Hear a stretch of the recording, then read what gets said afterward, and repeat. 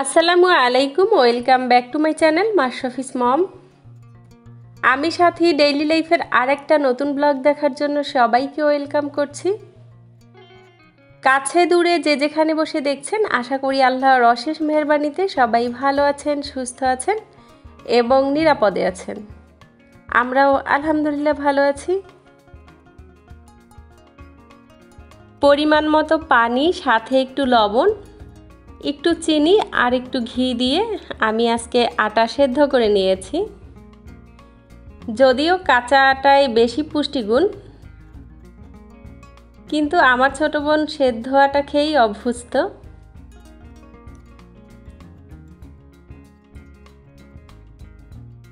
সেদ্ধ আটার রুটিটা একটু বেশি সফট হয় আর খেতে অনেক মজা হয়।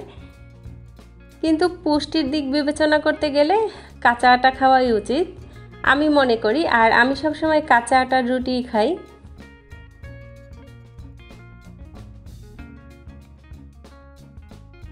আজ সকালে আর হাঁটতে বের হওয়া হয়নি।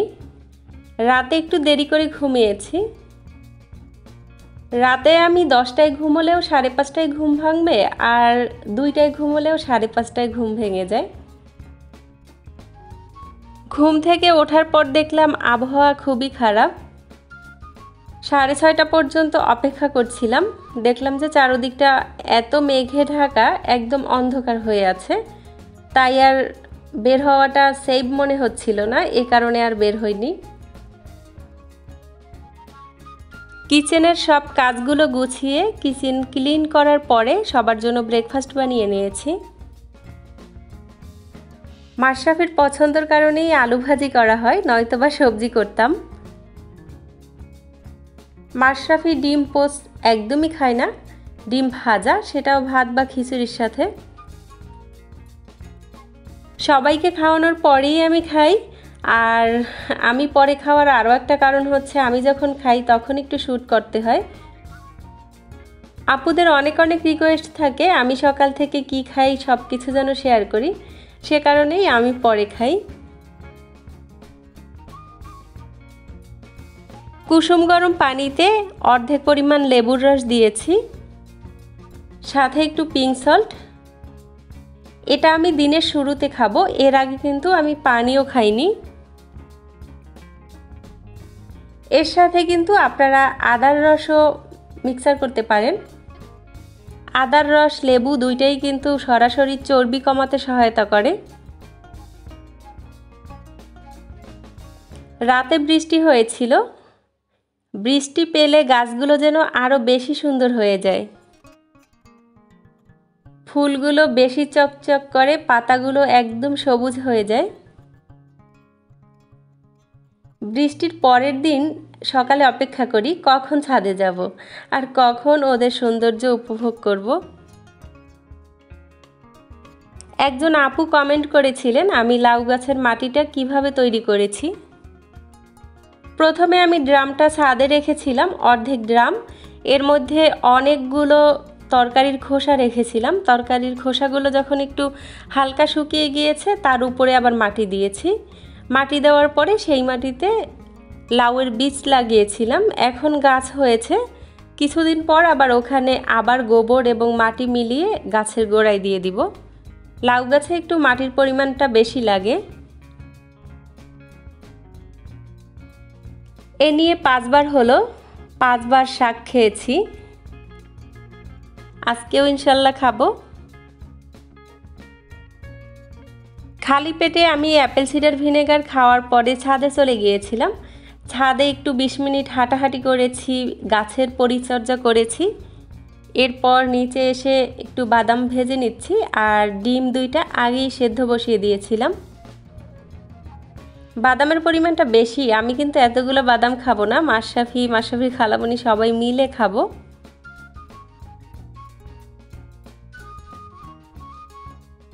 ডিম এবং বাদাম দুইটাই কিন্তু লবণ দিয়ে বেশি টেস্টি লাগে। আজকে চিয়া সিড ভেজাতে মনে ছিল না, তাই ইনস্ট্যান্ট খাচ্ছি। ইনস্ট্যান্ট বলতে ইসাবগোলের ভুসি। ইসাবগোলের ভুসিটা ভেজানোর পাঁচ মিনিটের মধ্যেই খাওয়া যায়। তোকমাদানা বা চিয়া সিড, এই দুইটা একটু সময় লাগে ভেজতে। তিরিশ চল্লিশ মিনিট সময় লাগে, বিশ মিনিট হলেও হয়। বেশ কয়েকদিন হলো আমার রিল্যাক্সে চা খাওয়া হয় না। চা বা কফি আমি সবসময় একটু রিল্যাক্সে খেতে পছন্দ করি। কালকে রান্নার ফাঁকে খেয়েছিলাম, কিন্তু মনে হচ্ছিল না যে চা খেয়েছি। তাই আজকে বেশ রিল্যাক্সে বসে চা খাব। একজন আপু কালকে কমেন্ট করেছিলেন যে, আমার টেবিলের উপরে যে মানি প্ল্যান্টের গাছটা, এটা কি আর্টিফিশিয়াল নাকি? এটা একদমই আর্টিফিশিয়াল না, এটা রিয়েল প্লান্ট আমার ছোটো বোন বলছিল যে, আপু, তুই কেমনে বুঝাবি যে এটা রিয়েল প্লান্ট তো আমি বললাম যে, সেটাও কথা, বোঝানোর কোনো উপায় নাই। তবে গাছের গোড়াটা দেখলে বুঝতে পারবেন যে এটা রিয়েল প্লান্ট কারণ গোড়া থেকে শিকড় দেখা যাচ্ছে।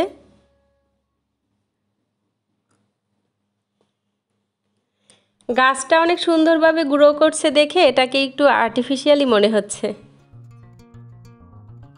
আজ আর দুপুরের রান্নাবান্না শেয়ার করলাম না। দুপুরে করলা ভাজি করেছিলাম, সেটা তো এতটুকু আমার ভাগে এখন পর্যন্ত আছে আর কি। এখনও খেতে না আসলে মাশরাফি এটাকেও ভ্যানিশ করে দিত। আর মাছ, সাথে গরুর হাড়, তারপর মাথার মাংস, চর্বি সব মিলিয়ে রান্না করেছিলাম। আর হচ্ছে আমার সাত বাগানের শাক। বাকি রান্নাবান্নাগুলো পারফেক্টলি করলেও কেকটা আমার বেশি একটা ভালো হয় না। তবে আমি যখন কাউকে বানিয়ে দেই, তখন সেটা পারফেক্ট হয়। বাসায় বানাতে গেলেই কেমন যেন এলোমেলো হয়ে যায়। তারপরও মনোবল নিয়ে আবারও একটু কেক বানানোর ট্রাই করছি। ভাবলাম যে আপনাদের সাথেও শেয়ার করি। সব কিছু আমি এক জায়গায় করে নিয়েছি। নয়তোবা আমি পরবর্তীতে গুলিয়ে ফেলব।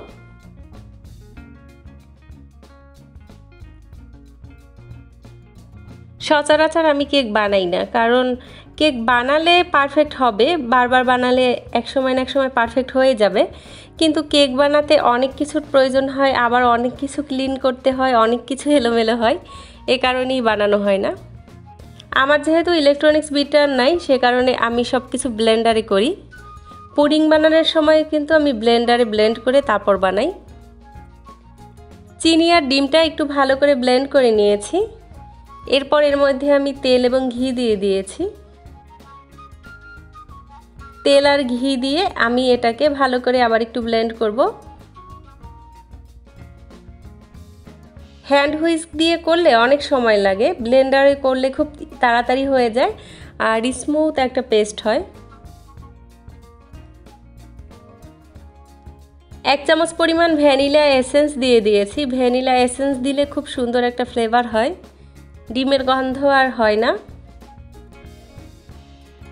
এবারে সব শুকনো উপকরণ দিয়ে দিয়েছি। এক কাপ পরিমাণ আটা, আমি ময়দা ব্যবহার করিনি আটা। ওয়ান ফোর্থ কাপ গুঁড়া দুধ। এক চামচ পরিমাণ বেকিং পাউডার। আমি ওয়ান ফোর্থ কাপ লিকুইড দুধ নিয়েছিলাম, কিন্তু লিকুইড দুধের আর প্রয়োজন হয়নি। ব্যাটারটা এমনিতেই পারফেক্ট হয়েছে। সব কিছু চেলে আমি একটু একটু করে মিক্সড করে নিচ্ছি।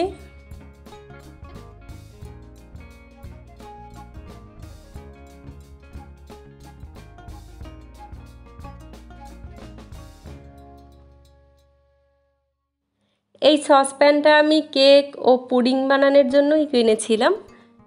এটার মধ্যে পুডিং বানালে খুব ভালো লাগে আমার, কারণ পুডিংয়ের পরিমাণটা একটু বেশি দেয়া যায়, পরবর্তীতে পুডিংটা অনেকটা মোটা হয়।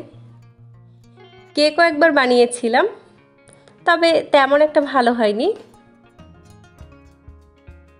নিচে একটা কাগজ দিয়ে দিয়েছি, এরপর একটু তেল ব্রাশ করে দিচ্ছি।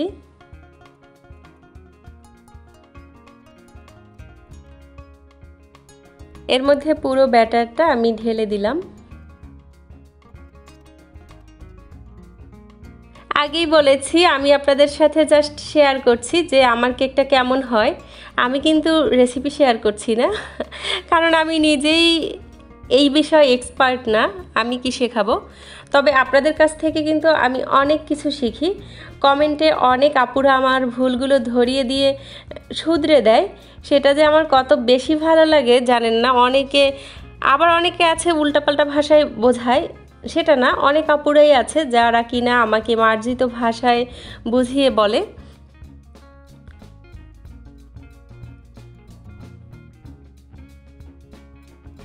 আমি একটা রাইস কুকারের হাঁড়ির মধ্যে কিছুটা লবণ দিয়ে, একটা স্টান দিয়ে তারপর এটা বসিয়ে দিয়েছিলাম। তিরিশ মিনিট পর ঢাকনাটা খোলার পরে আমি একটা কাঠি দিয়ে চেক করার পরে দেখলাম যে এটা হয়নি। একটু কাঁচা রয়ে গিয়েছে। তারপর আমি আরও বিশ মিনিটের জন্য বেক করেছি।